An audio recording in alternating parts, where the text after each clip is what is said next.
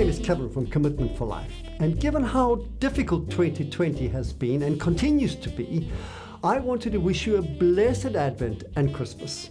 Commitment for Life is the United Reformed Church's global justice program. We enable local congregations to engage in their mission for global justice by focusing on four regions of the world Zimbabwe, Bangladesh, Central America, and Israel and the occupied Palestinian territories. We work very closely with our partners Christian Aid and with Global Justice Now. St Andrew's Church Round Roundhay is a highly valued Commitment for Life partner. And we are grateful for the work that you do in support of some of the poorest people in the world, very often at the forefront of the climate emergency. A special shout out to Tim and Pam, who do so much to keep the issue of global justice at the forefront of our minds.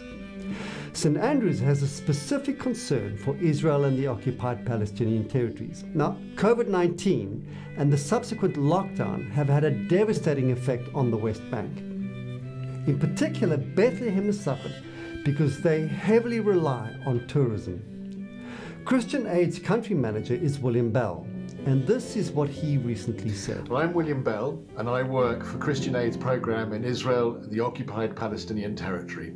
Love means many things to many people, but I think that love in all its forms is at its best when everyone, regardless of race or religion, can live in equality with justice and dignity. And so to today, as this devastating virus across the world devastates, love will continue to rise up in response. You've already shown incredible kindness to your neighbours, and now is the time to reach out beyond to those further away.